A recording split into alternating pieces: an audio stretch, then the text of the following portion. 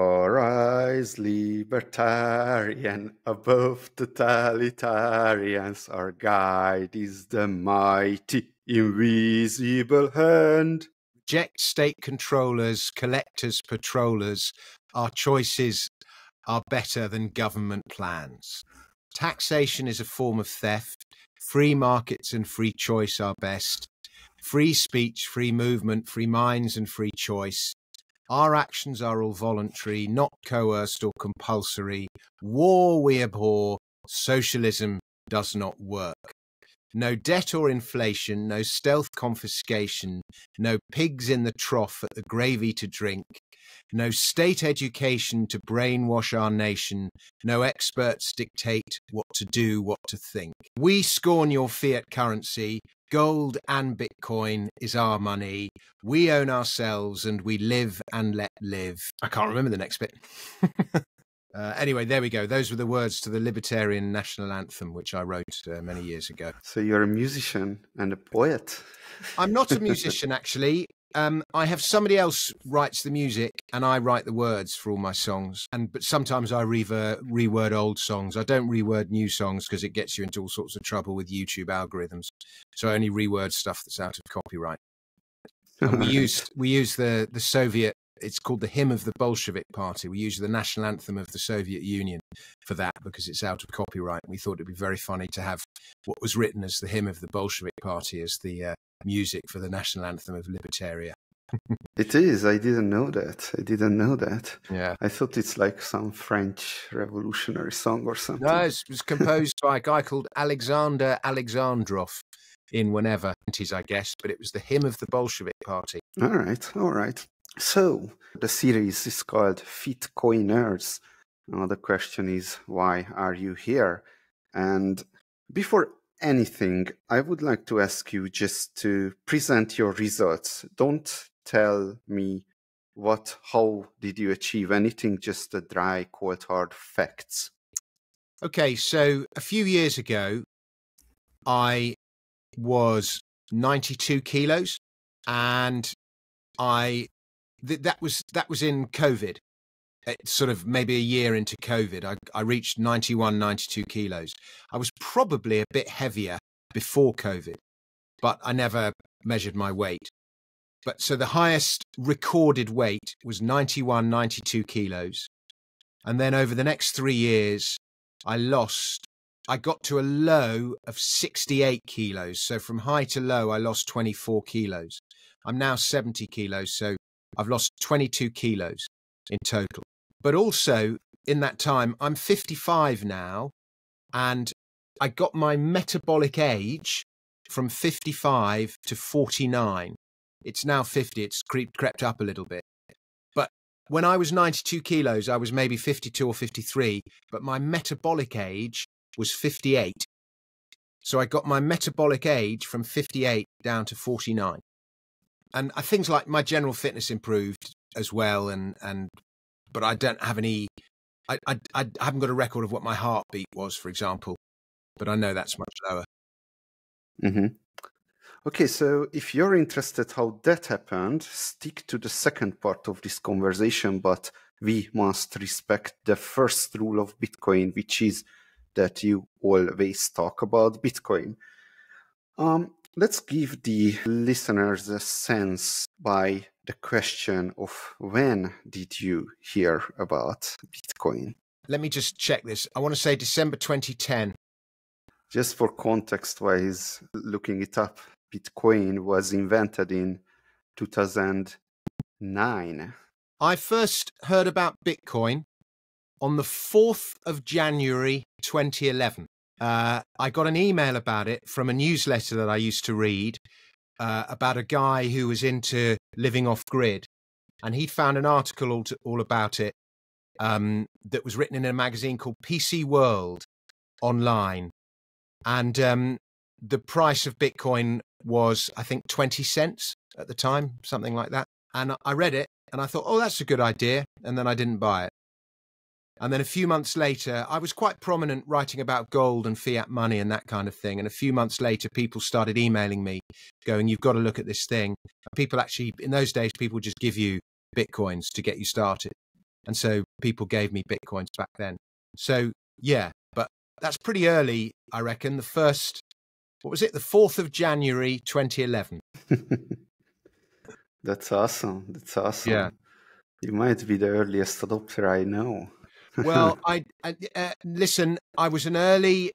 I knew about it, but I was not an early adopter because I was stupid. Really, I I just get so many emails, and in your mind, all the emails you get rank. They're just the same. You just read them and you deal with your emails. But if I'd actually gone away and researched it, I could have just bought a thousand quid's worth and I'd be a billionaire now, probably. Well, I, I, I think you you're still doing pretty well. Because I'm doing all right. I'm doing all right. but we're never as rich as we'd like to be. The first time I met you, you were the CEO of a company called Cypherpunk Holdings, which was a company that was invested in in, in my project, Wasabi Wallet, uh, or the company behind it, ZK Snacks. Yeah, and that was One... a really good investment for Cypherpunk Holdings. Okay, have they still got their that. shares? In, have they still got their shares in your company? Oh, so no. Did you have to? You had to wind it up because of you were scared of. Uh, yeah, of getting letters from the UN Security Council and stuff like that.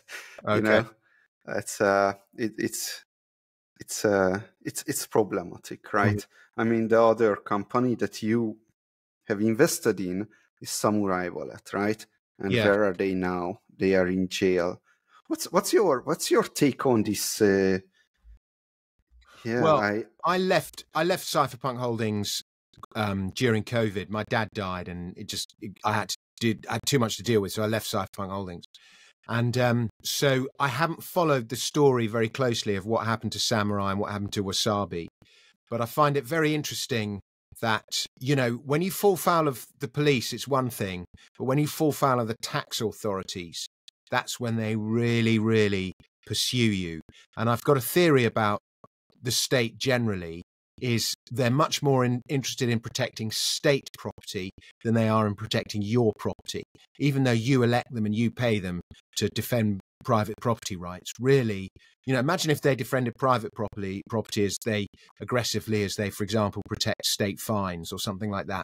But so it's really interesting to me how aggressively they came after the privacy tech companies, the the the um, privacy wallets, because it shows just what a threat to government revenue they see it to be. And even though taxes you haven't paid them yet, they still see it as their money or as their property. And, you know, they're pretty aggressive about it. And I found that very telling. Yes, that is very telling. In fact, just yesterday, the Tornado Cash, some news came. Yeah, they crucified him as well. They crucified him as well, yeah.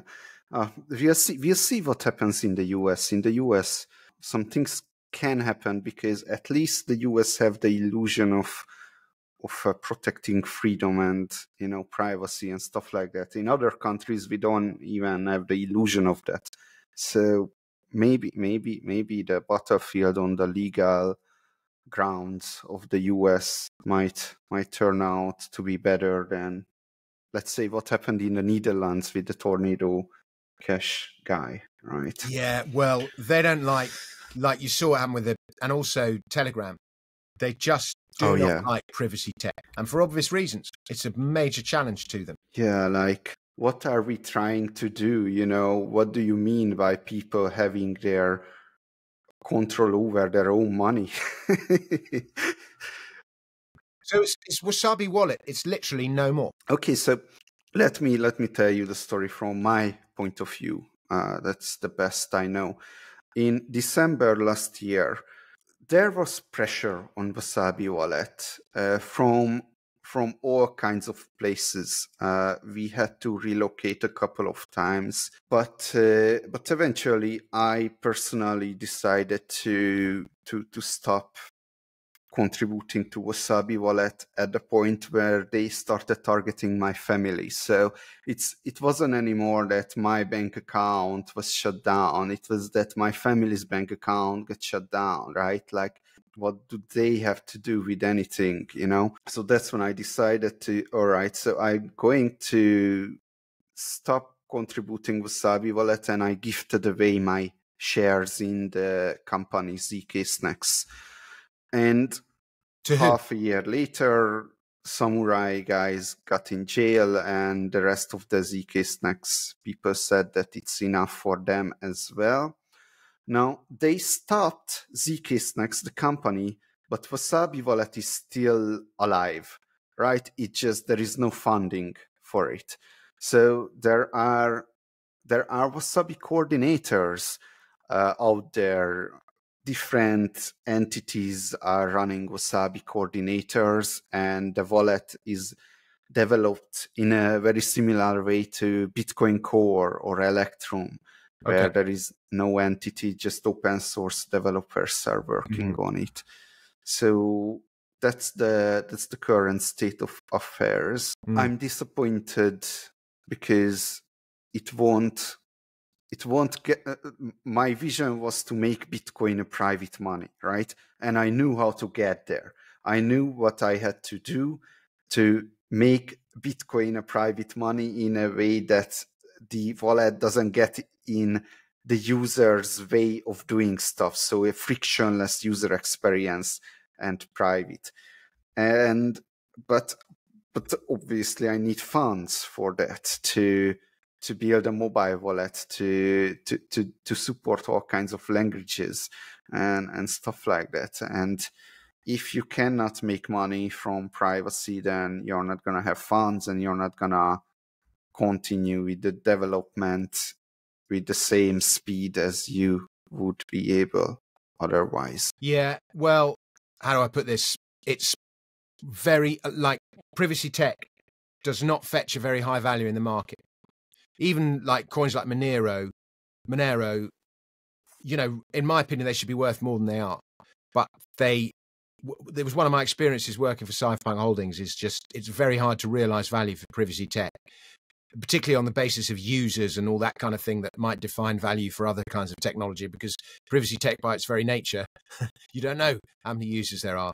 So privacy tech, the value of privacy tech tends to be determined by actual revenues uh, rather than blue sky stuff. Yeah, but what was one of the reasons we were compelled by Wasabi is that you know the revenues were brilliant. Anyway, Yeah. so, so Cypherpunk still got its shares, or has it let them go? so zk the company have have dissolved itself Right. therefore no no shares anymore um i think they got more more dividend out than how much they put in but obviously this was not the the 100x bet you know that the company that would have been bigger than microsoft itself because Yeah. yeah Could have been. it could have been it, it, it could have been because this was money and privacy could be built into every single value transaction value transfer in the world right Mhm. and it's not just a, an operating system is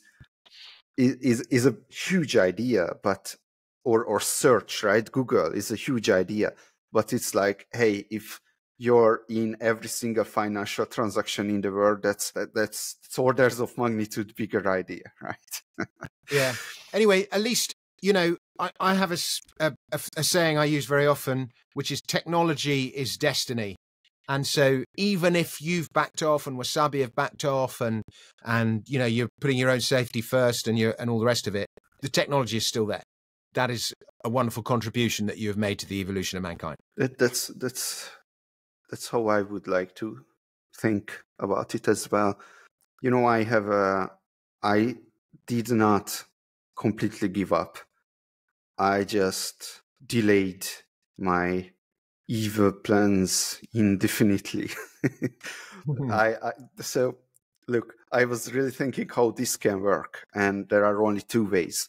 One is that someone builds a decentralized system like monero and that's going to be so good that it takes over the world and then we are going to have private uninflatable money. No i don't see this is happening right um, monero people zcash people are claiming stuff but it's just not usable and there are no incentives to work on it because you get in jail. So, so th- this is going to happen in in the very very long term. Eventually, technology is going to get there, but uh, but the other way is to build something that is near perfect properties of money satisfies near perfectly the properties of money. It's private, almost free, um, uninflatable, and so on. And it is, I know how to build that money. It's just, hey, um, we had tens of millions of dollars with Wasabi and we failed to get there in time. And then we probably need like a billion dollars to get there.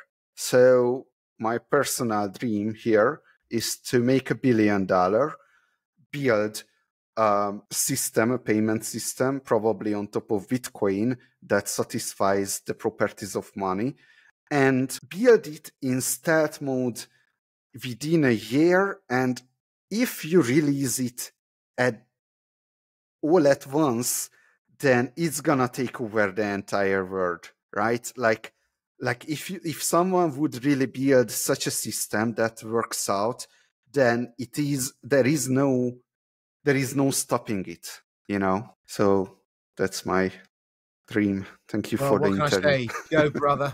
I wish i had your coding skills. I wish i had a billion dollars. There's lots of things i would do with a billion dollars if i had it. It will come. It will come. One thing that that i have to do first is to we have to solve aging itself uh, because it might take a couple of hundred years to get there, right? Yeah. so that's You what should- I'm how old are working on now. how old are you 33 oh god you're young young young young young i'm 55 i mean I, we should live till we're 100 or thousands. i don't think that'll happen but maybe All right. Let's let's let's move on a bit to let's say economics because you're somewhat of an economist. Oh, uh, uh, are you an economist? No. No. i've written books about money and economics and stuff but i'm, I'm not a qualified economist i'm all self-taught Uh-huh, uh-huh. All right. So I want to bridge the gap between between health and fitness and and and Bitcoin. And I came to the to the chain of thought about methodology. So there, there, there is an interesting interesting way of um, interesting butters of of methodologies in in in all kinds of fields of sciences. So uh, the two philosopher philosophical uh, lines of uh, one you have to get everything from uh, from axioms and you build out euclid's geometry right mathematics and stuff like that you find the ground truths and you build out the great things. But you can also go the other way that you do the scientific method of doing a bunch of experiments and try to to generalize from specific um, events specific species and learn knowledge there. So what is the method of economics? Because economics the experiments in economics are near to impossible to make to do. Um, but yet there are results in that field of science. Can you follow me here? Mm-hmm. what are the methods of economics? That's my question to you. Well, I, I, I, I'm I'm not sure I'm equipped to answer that question, but what I would say, in my opinion, economics is more a philosophy than it is a science. But it's a philosophy that tries to behave as though it's a science. And so they use lots of numbers and so on to make it look more scientific and data driven and so on. But the problem is, you can't, like if you're conducting a scientific experiment, you know, you can close off the, the room or you can close off the thing so that no externalities can get in. And in economics, every time, you know, there's some advisory board that says the government's going to make this much money if it does this investment, there's always something that, an external thing that, you know, you can't control the externalities and there's always something that it overlooks and forgets. So, it, it, in my opinion, it's not a science, it's a philosophy. And, you know, at one end of the philosophy, you have you know, cap, anarcho-capitalist, no government, and then at the other end of the philosophy, the economic philosophy, you have government planning for everything. And the the world in which we live is is getting more and more government planning for everything. But generally, the best results come when there is the least possible government involvement and the free market is left to operate by itself and people can conduct their own little experiments and that is when you get the best outcomes and the most progress and the most innovation and the most invention and so on that's how i see things if you look back at history the greatest societies have always started out at least as the freest and you know it's free markets the market chooses what is money free speech free movement free choice, all that stuff. It's all it's all under the same header. So that's my little rant about economics. I don't think I've quite answered your question, but I but I hope I have a little bit. But who will build the roads? The same people that build them now. You'd really like my song. I have a song called Show Me the Way to Ancapistan.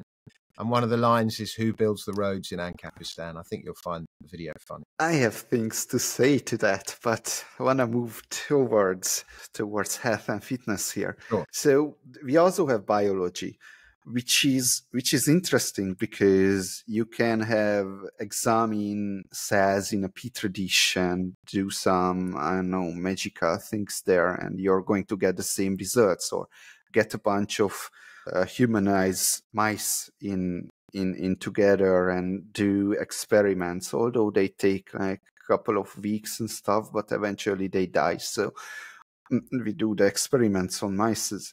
Or you can you can take people and do randomized control trials and and well things are getting more expensive but they must be double blinded otherwise there is no results that we can take from that. Um, so if that's the case if we have to have randomized control trials for each and every statement that we make uh, otherwise we know nothing then n of one experiments are worthless. So we shouldn't even talk about you right now. Is, isn't that so? I think the funny thing about science, and this hopefully follows on, you you ask me very profound questions, and I'm not sure I'm quite able to answer them a lot of the time. But I think the interesting thing about science, and it applies to science and it applies to economics as well, and it, it certainly applies to fitness and health, is that there is stuff that you know you have you have natural law and you have positive law. Positive law is man made law, and natural law is the laws of the jungle and the laws of nature. And there are things that we have known innately as human beings since forever. And that is why they often feature in our religions, because religions were a means of controlling people and guiding people and advising people before we had mass media. Now we have mass media, maybe you don't need religion anymore. But so there's all sorts of religious practices.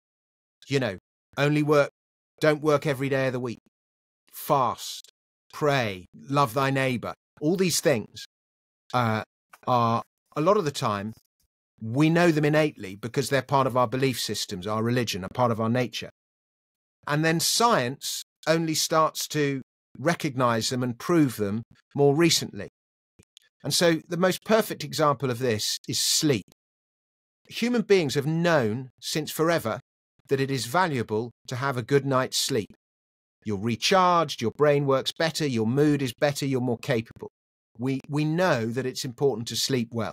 And yet, science is only sort of proving that we need to sleep well in the last couple of years. It's suddenly become really fashionable.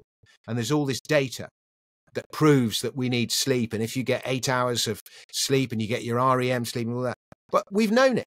Like the ancient Greeks all used to talk about the value of sleep. They thought when you dre- dreamt, it was a connection with the divine. And Aristotle and um, Hippocrates all used to talk about the importance of sleep. We've known it. And yet science is only just proving it now.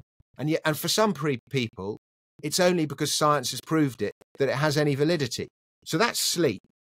And you know, if you look at money, there's a perfect example here. gold has always been money. Gold is the very first metal that human beings used. We used gold even before we could speak. We used gold, uh, alluvial gold was much more common in Stone Age times, and we would find little bits of gold in riverbeds and so on, and we wore it, and we gave it away as a gift, or we gave it away as a reward, or we used it as a tool of barter, and it was a means of displaying status and displaying prowess. Look at me, I have access to this shiny gold stuff. You should reproduce with me. And we've been compelled by gold. Now, gold, you can't destroy gold. Um, and it was present in the dust which formed the solar system.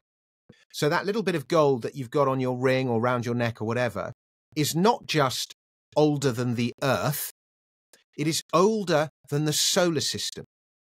And so when you touch that little bit of gold, that is the closest you will ever come to touching eternity. And I've always found that a very profound thought. Now, every society, if there's no government in the way, has always defaulted to gold as money. And every reserve currency in the history of man has started out backed by gold. So gold is nature's money. And, and of course, I'm not just talking about medium of exchange. In fact, gold has never been the greatest medium of exchange. We tended to use silver, copper, and other metals as a medium of exchange. I'm thinking more in terms of unit of account and store of value, that, that function of money. And gold is nature's money. And then, so that is natural law, gold. And then human beings come along and they invent fiat money. Fiat is just law. The, the only thing that backs the money is the law and then and and you know the strong hand of government. So fiat money is positive law. And natural law is obviously gold. And, and one results in much better outcomes than the other, as we all know. I don't need to witter on about the damages of fiat here. Then you take that same mentality, nature knows, there's stuff we know innately that science is only just starting to prove, and then you apply it to food. And in my weight loss, I have um, been very careful about what I eat.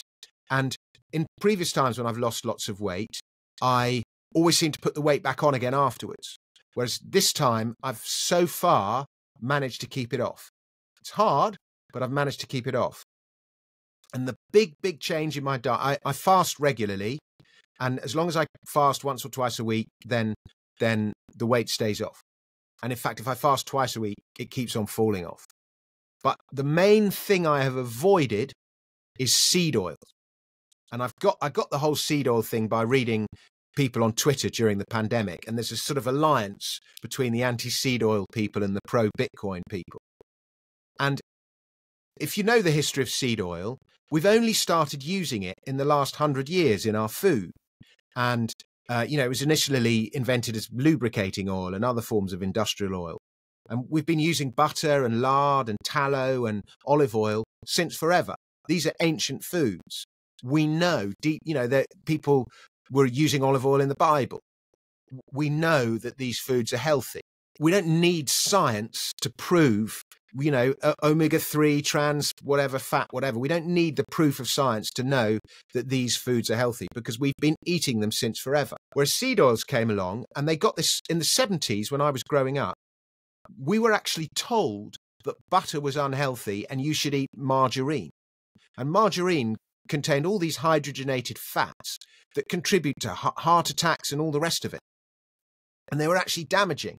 And it's because basically the people peddling seed oils uh, paid for scientific proof and justified it to governments and then had governments lobbying, you know, telling us that we should eat these margarines and we shouldn't eat animal fats, even though we've been eating them since forever. So seed oils is, is a new thing in our diet. And they're now realizing that seed oils are in fact quite bad for you. And now this whole thing of hydrogenated fats, oh well, they're the bad ones. These new seed oils aren't so bad. So there's this this counter argument taking place, and there's lots of clever people, you know, who've done much more research than I have, saying that actually some of the modern seed oils aren't too bad. Well, that may be so. That may be so. But in avoid if you go, I'm avoiding seed oils, what happens is you find that all processed food contains seed oil. So if you go, I'm avoiding seed oils, you end up avoiding processed food. Now, even if it isn't seed oils that are the problem that's making us all fat, it, and it's something else, whatever it is in processed food, by avoiding seed oils, you avoid it. So it's a really good mantra avoid seed oils at all costs. And even even if the science is now slightly disputed, by like and, and so that's where I stand on that. And seed oils are fiat, in my opinion. They are what fiat money is to money, they are to food. They're that bad. And, you know, you look at people in the 50s and 60s, nobody was fat, and everyone's fat now. And, you know, even people who live healthily are 10, 20 pounds heavier than they'd like to be, five, 10 kilos heavier than they'd like to be. And they're in this constant battle. You know, we exercise more than we exercise in the, in the past. I don't think we're greedier than we were in the past. There's something in our food that is making us sick and obese and giving us all these modern illnesses that never previously existed. And it's either seed oils or it's something that accompanies seed oils. And so my overriding philosophy is avoid seed oils. And, you know, some scientists might come on and say, you're talking shit. Fine. It's worked for me. It might not be scientifically proven. It's worked for me. And I am my own little experiment. And I'm happy. I'm a lot healthier in mind and body than I was three or four years ago. And avoiding seed oils has played a huge part in that. I, I need to investigate olive oil more and nuts, but I've definitely found, and again, I don't have the scientific proof. This is just my own lived experience. But nuts, I love nuts. And I love yogurt. And I love putting nuts in yogurt with banana and honey. That is just like, I could eat just bowl after bowl of that. And I've found that if I eat a lot of nuts, even though nuts are healthy, and, and these are nuts without sugar or anything like that, added to, in salt or anything, just nuts, I put on weight. So nuts are very calorific, delicious though they are, and they're supposed to be good for you. They have the right, uh, walnuts especially have the right uh, omega 3. But I find I put on weight if I eat a lot of nuts. So I tend to avoid them now for that reason. But nuts are delicious. And I read this article once, and it was saying, it was talking about bears. And when bears, when winter's coming, bears just consume shed loads of calories to get fat so that they can last through the winter because they know they're not going to have any food in winter. And so they eat shed loads of salmon and they eat nuts, nuts, nuts like mad. And they eat them to get fat. So, you know, sometimes you need to get fat. And maybe the nuts you know serve that purpose but but you, you, then you know the bears then go through a period of winter where they have no food at all and so they lose all the weight but you know so you can learn from the habits of bears and for that reason i think nuts you know they are fattening olive oil we've obviously been eating olive oil since forever but i worry about cooking olive oil in high temperatures. Uh, oh, yeah, yeah, A little bit of, uh, uh, uh, you know, olive oil in your salad or something with bread, delicious. But when you're coating roast potatoes in olive oil and you're cooking your steaks in a lot of olive oil and so on, I, I worry that it's not good for you. The, the way that I conquered nuts is that I have a supplement. I have like a, a big supplement uh, bag, let's say. Uh, and one of the pockets is like I put it full of nuts, all kinds of nuts, and it's around 20 gram of nuts. So I don't eat more nuts a day than the 20 gram that I prepared for myself. Yeah, next okay. to my supplements. Yeah, I just yeah. I mean, I bought a load of pumpkin seeds recently. I read somewhere that pumpkin seeds are good for. Like I, I pee a lot in the night, and I read that pumpkin seeds are good to eat for your prostate or something. And I couldn't believe how calorific pumpkin seeds are. But tell me about tell me about something else than nuts and seed oils. You've lost twenty kilograms and couldn't be just because of nuts and seed oils. Okay, so I'll tell you, it. I lost 20 kilograms, but it, it happened. What would happen is you'd lose a bit of weight and then you'd plateau, and then you'd lose a bit more weight and you'd plateau. And there were certain things that I found helped, and the certain things I found didn't help. But the the most important thing of all is is diet. That's more important than exercise. And there's a great saying: you cannot outrun a bad diet. So it doesn't matter how much exercise you do. If your diet is shit, you're doomed. So you've got to get your diet right.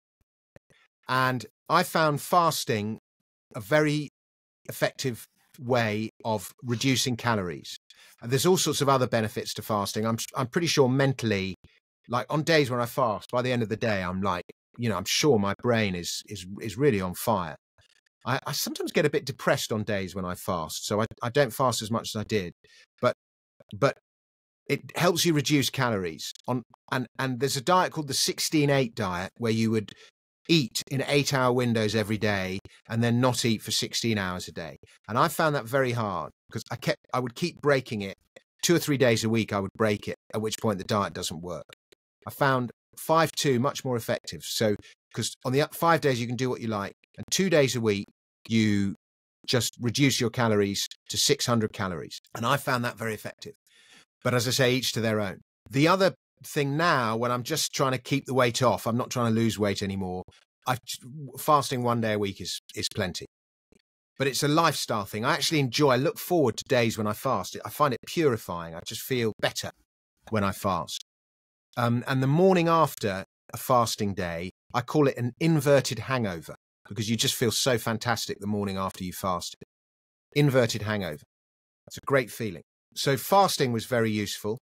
Um, I what really really worked for me took me to the next level was cutting down on booze, alcohol. Now, I like drink. I like wine. I love red wine. I love white wine. I like champagne. I love beer. I didn't want to cut down on alcohol. And every time people said you should drink less, I was like, I don't want to. I like drinking. I like the feeling it gives me. Uh, I'm a I'm a happy drunk. I, I laugh a lot. I'm everyone's best friend. I'm, I go on stage. I make everyone laugh. You know, it's part of comedy clubs and all that. I like booze. I didn't want to cut down on booze. But I got this thing here, a Whoop, about a year ago. And what the Whoop does is it measures. I got the Whoop because I was looking at ways to improve my sleep. But one of the things it measures is your heart rate. And I'm not convinced, by the way, that Whoop's data is accurate because when I use other fitness trackers, there's there's so many inconsistencies between the various fitness trackers. I'm not convinced that they're accurate. So a lot of the time, you're just storing up data that's just wrong. But in any case, the act of getting a fitness tracker, even if the data is accurate, is inaccurate, is instills good habits in you. So the Whoop in measuring your sleep, it measures a thing called your heart rate variability, which is the gap in time between your heartbeats, how variable that is. And when you drink alcohol, your HRV falls through the floor. It goes really low. When you don't drink, it stays quite high. And my HRV is pretty low anyway.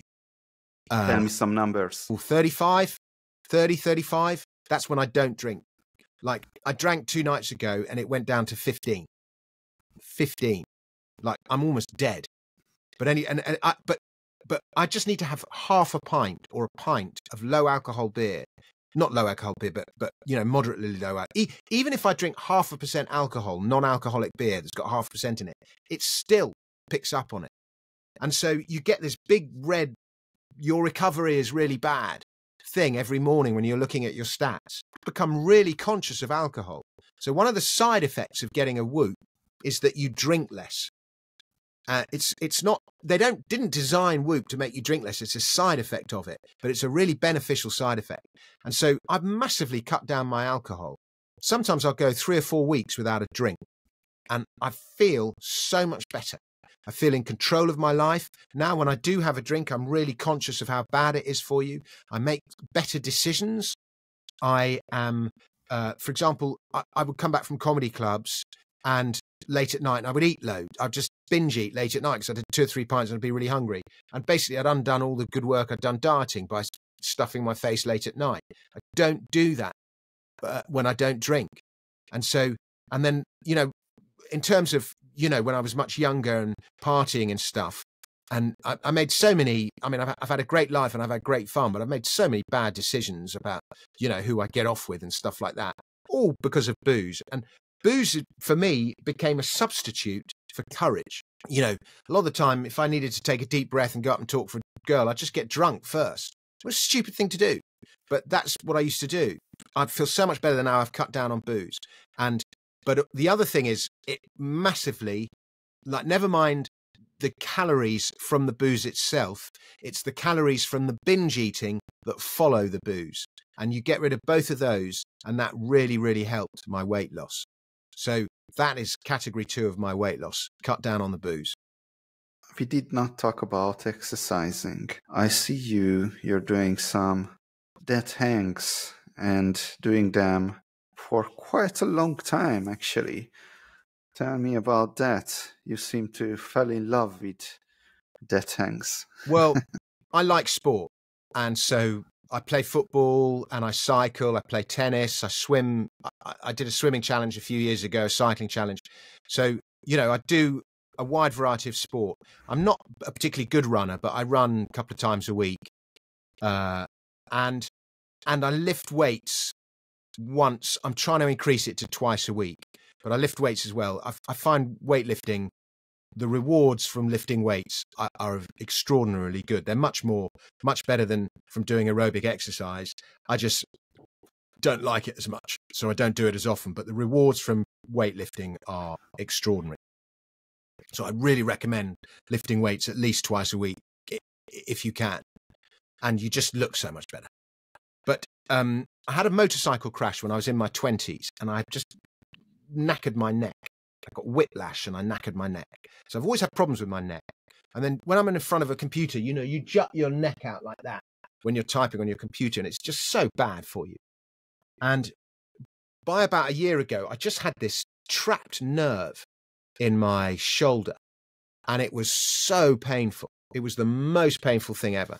I would go and see the osteopath, and I was doing everything, but I was just, I was just in so much pain. And I just heard somewhere, I, I had a pull up bar in my house anyway, but I just heard somewhere that hanging dead hangs were good for your uh, neck problems. So I just started doing them. And because I'd lost quite a lot of weight, I was quite, you know, I'm a good physique for doing dead hangs.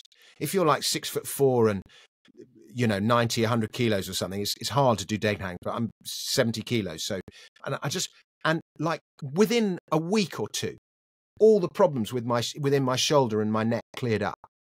And i just found them so beneficial. And then they're just so good for you because they just extend the spine. And everything you do sitting or standing or walking or anything compresses the spine. Whereas dead hangs they just expand them. And they're just so good for you. And so now and i've, I've got a pull-up bar in my garden. I've got another one in the hall downstairs. I just try and do one or two two minute dead hangs a day just to stretch everything out. And, you know, they're very good for your grip strength and your forearms and stuff like that and your shoulders. But so I think in terms of amount of time you put into it, it's very hard to find an exercise that you can do for two minutes that gives you as much benefit as a dead hang does. So I'm I'm a big believer in dead hangs, and they help me a lot. Are you just hanging, or you're starting to do like monkey hangs, like back I, and forth? I I I tend to just hang and I swing from side to side because I like the stretch it gives you through your sides. Um, I I I haven't got into one armed hangs because I read somewhere. hard. well, they're hard. I could do them. I've got the strength, but I read it, it's quite easy to get an injury doing a one armed dead hang if you don't do it properly. And the last thing I want is to get an injury that stops me doing dead hangs. so, and, you know, I'm 55. You're a bit more prone to injury at 55 than you are when you're in your 30s. So I'm just taking it easy, and I do some swings. Um, but maybe I and and sometimes I do the dead hang and I grip it like that. Sometimes I grip it like that, and sometimes I grip it out wide. So I've got different grips that I can do, and I do leg raises and that kind of thing. But on the whole, yeah, I I don't want to I, I, feel I'm onto a winner with Dead Hangs, and I don't want to ruin it.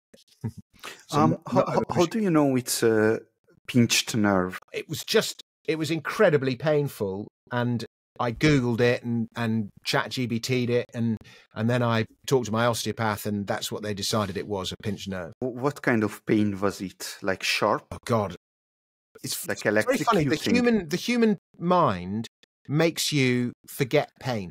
Like a, a year or two after the injury, you forget how painful it was. But I just remember it was extraordinary. It was it was constant. But if I'm if I did a movement, it would be really bad. And you felt you had to sort of stay in one position in order not uh-huh. to exacerbate it. And it trapped your movement, and it was in my neck. But if you Google trap nerve, it'll tell you what it is. And I just had all the symptoms. Uh-huh. uh-huh. Why okay, do you think so, you might have one? No, I just uh, don't really believe people who are saying that they have nerve problems because nerves are pretty resilient, uh, as far as I know. So, well, I I've read a lot about these things uh, before because I'm kind of geeking out for for a decade now on a website called painscience.org. Okay. And the, the, the other thing I sh- I would say is is if you can see my li- can you see my little fingers not right? Yes. And I injured my little finger playing football once. The, the I was in goal and the ball bounced uh-huh. and it broke my finger back, and I didn't get it properly seen to. And now I have what we call pins and needles in my little finger, and it goes all the way up my arm sometimes. And when I had this trapped nerve, it was just like starting in the neck and it was going all the way down the, into into my little finger. And my osteopath actually thought that the little finger might be might have been the cause of it. You know, the Japanese, the ancient Japanese used to cut your little finger off. It's really important to to you. You don't realize how important your little finger. Is. So it's and even now my little finger still is numb. You know, it's still not quite right. The, the dead again, the dead hangs have helped because they improve your grip yeah so that that was another symptom of the of the thing the, the the the the, constant tingling and the weird pains going all the way up and down my arm. Yeah actually tingling and numbing are uh, suggestive of nerve problems so oh, okay. that might be that. Well what i wanted to say is that uh, you know about trigger points because you said the massage is helping so and and you are talking about referred pain, and that's a very uh, signature move of trigger points. So there are some points in your body that if you if you push, then it's like, oh, that's the right point to push. Yeah.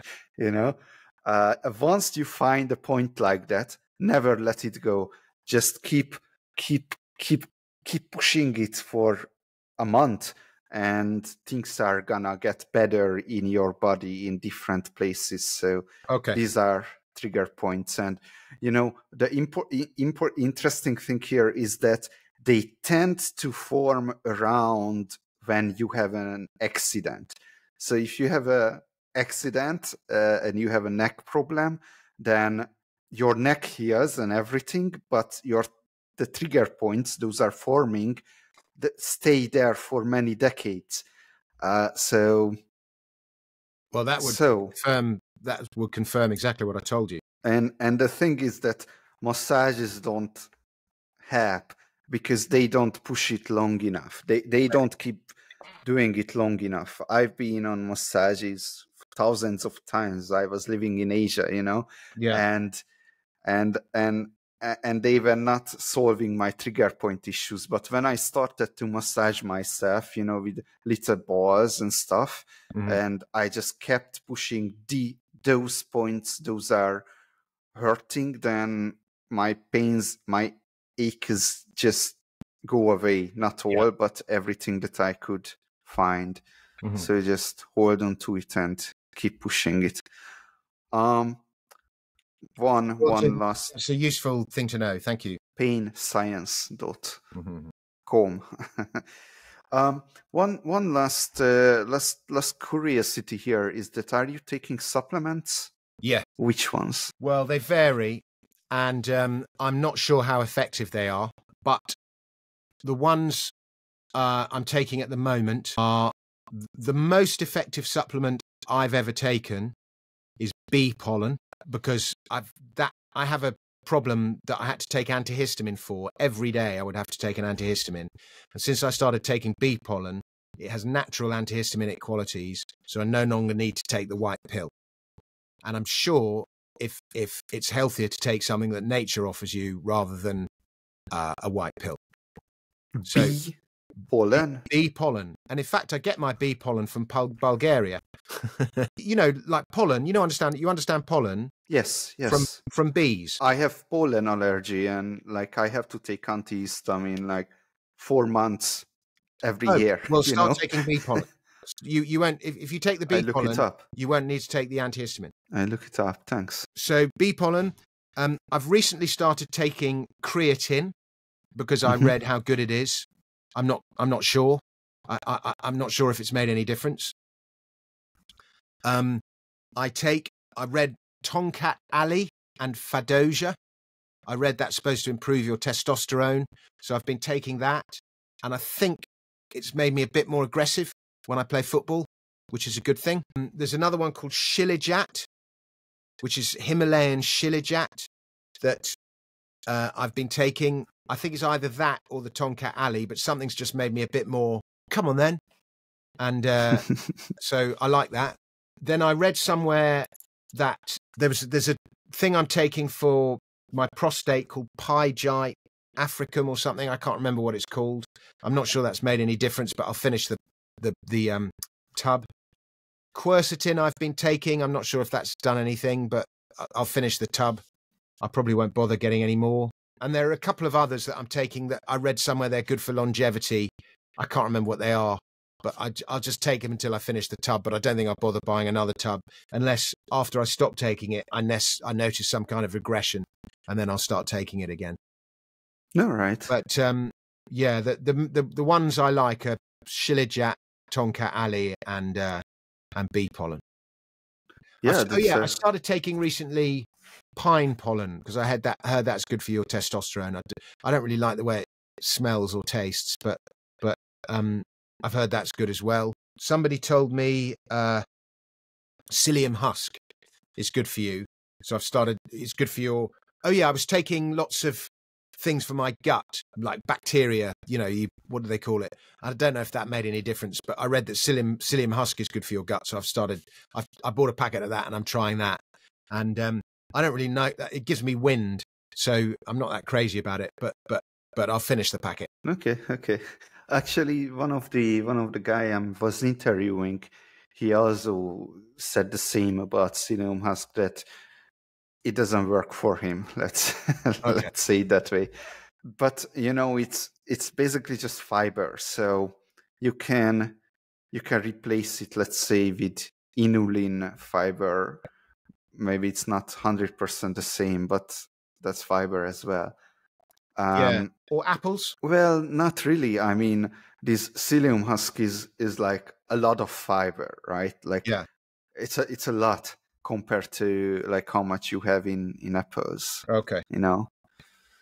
So anyway, I'll finish the pack, but I probably won't bother buying another. That's an interesting set of supplements. It's uh, it's it's actually quite quite unique. I I I don't don't often hear these these ones.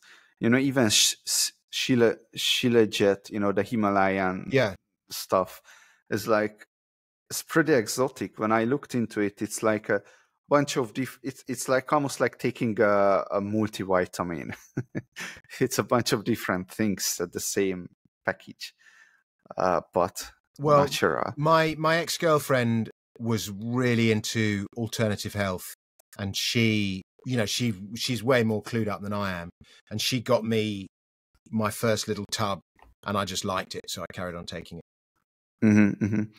Another way that you could target your testosterone if you're not targeting your testosterone, but you're targeting other hormones. Like you do, you do a, a blood test and you check other hormones like DHEAS.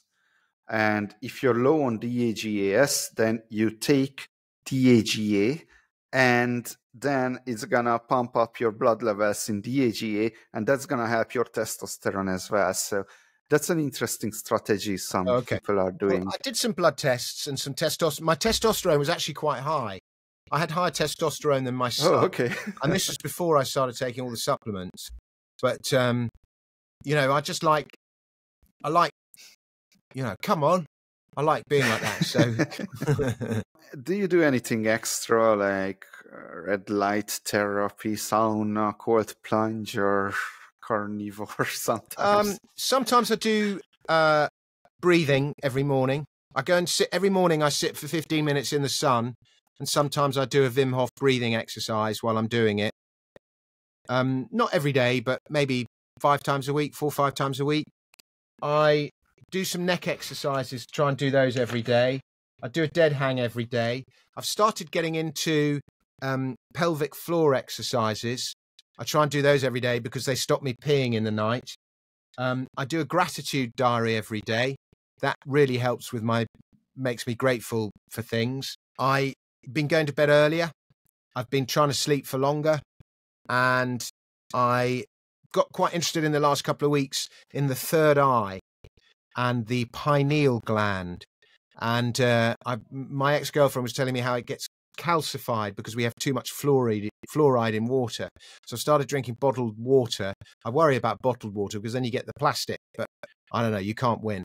So I tried to reduce my fluoride and then I was when I was asleep, I was playing frequencies that open up your third eye.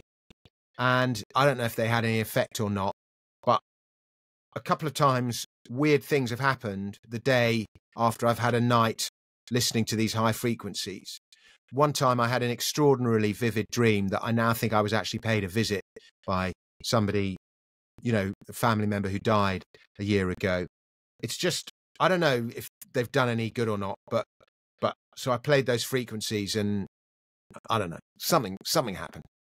But I, I, I, I've never been, I've always had a lot of sympathy for spiritual people and I've been a big believer in all that spiritual stuff, but I've never actually been able to activate it myself. Well, maybe you'll figure out how to. I'd like now. to. I'd like to, so that I can find out. I'm sure it would help me with my investments. I'm sure. I'm sure. Well, Bitcoin is not gonna not gonna hundred x anymore, so maybe new opportunities are are to be looked forwards to. Yeah, I think I think I like the way I like what Bitcoin's doing at the moment. I obviously would like it more if it had gone up more. We're going into Q4, which is the best Q of the year for Bitcoin. Uh, I think like of the last 12 years, like seven Q4s have been positive and the average gain is 90%. So we could see 100K this quarter. It always does well in election years, apparently, as well. So that's good. Um, I'd like, I'd like I, have a target of 150 on this cycle, but I don't see why it can't get to 200. Um, but each double is more difficult than the last. I do think Bitcoin needs a, a new story to ignite it a little bit. Michael Saylor's the main storyteller in Bitcoin, but he was, I mean, I think he's a genius. I love him, but he was the the main storyteller in the last cycle, and I think it needs a new storyteller. But I think the growth is going to come instead of from retail buying, I think all the retail people who are going to buy Bitcoin have pretty much bought it, or maybe half of them have. I think the next big driver is corporate and uh, maybe even national buying. And I think they'll be reluctant to do that because they don't want to enrich all those horrible uh, citizens who are early adopters, but they may have no choice. It's such an obvious problem solver for all those um, Asian nations looking to de dollarize. But at the moment, it looks like they're doing some kind of gold backed CBDC of some kind, but Bitcoin is an obvious problem solver for them. Now, let me ask you my closing questions.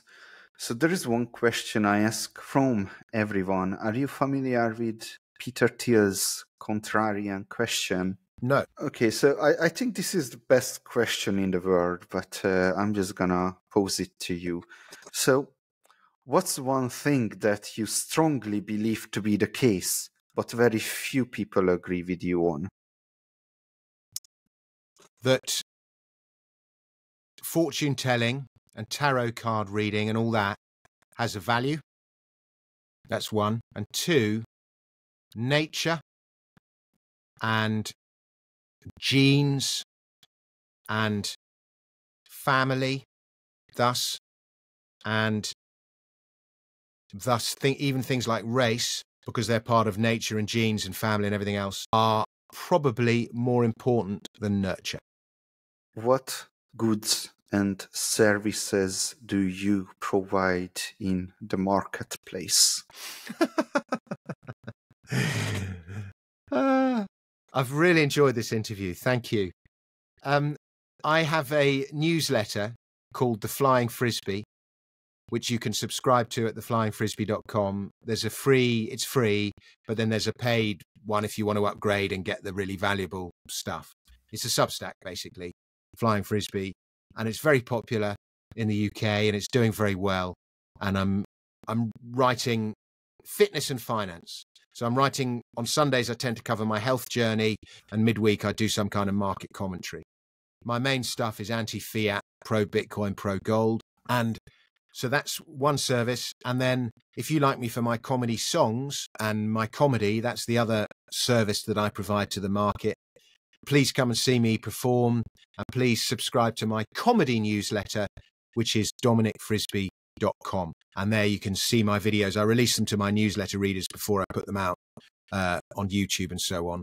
And the last one, I had one earlier in the year, We're All Far Right Now, uh, which Elon Musk shared. He's one of my fans. He follows me on Twitter.